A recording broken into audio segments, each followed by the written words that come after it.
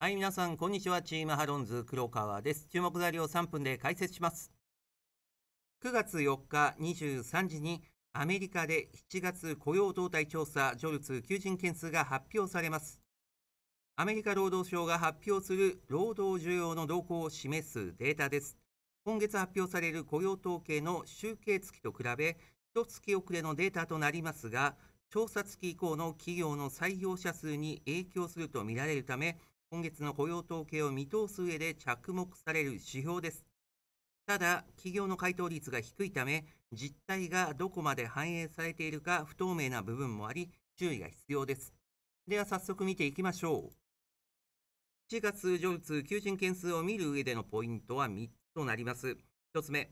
6月のジョルツ求人件数は818.4万件と5月から減少幅がわずかだったほか、5月分が情報修正されたことで、労働市場の底堅さが意識されました。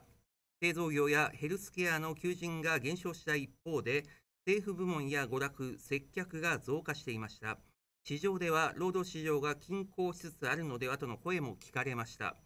2つ目です。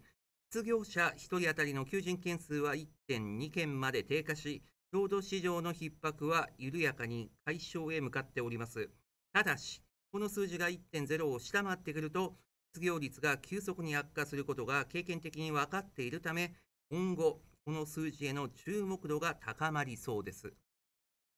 3つ目です。求人検索エンジニアのインディード社のジョブポスティングデータでは、7月も直近の低下水準であるものの、6月から横ばいで、企業側の採用意欲が大きく悪化している様子は見られません。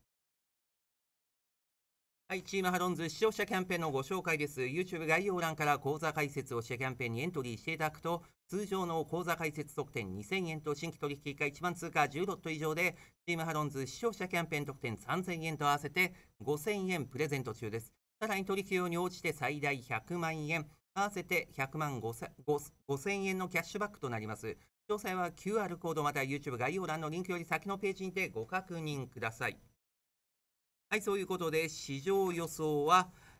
810万件と前月の818.4万件から低下するとの見方が優勢となっております。チームハロンズとしましては、インディードの数字が横ばいであるため、7月分も6月と同じ程度の求人件数が示されると考えております。結果発表直後、ドル円は上向きに反応すると考えております。はい、こちら直近10回分の早分かりの結果です。ご参照ください。はい、ご案内しました通り、9月4日23時、アメリカの7月上通求人件数が発表されます。21時開始のライブ配信番組内で7月の上通求人件数のえー、結果と市場の反応をリアルタイムでご紹介させていただきます。また、リアル講座で結果を受けた短期売買も行う予定となっております。開催 URL は番組最後に貼り付けてあります。お時間がありましたらご視聴の方よろしくお願いします。最後にグッドボタン、チャンネル登録よろしくお願いいたします。本日は以上となります。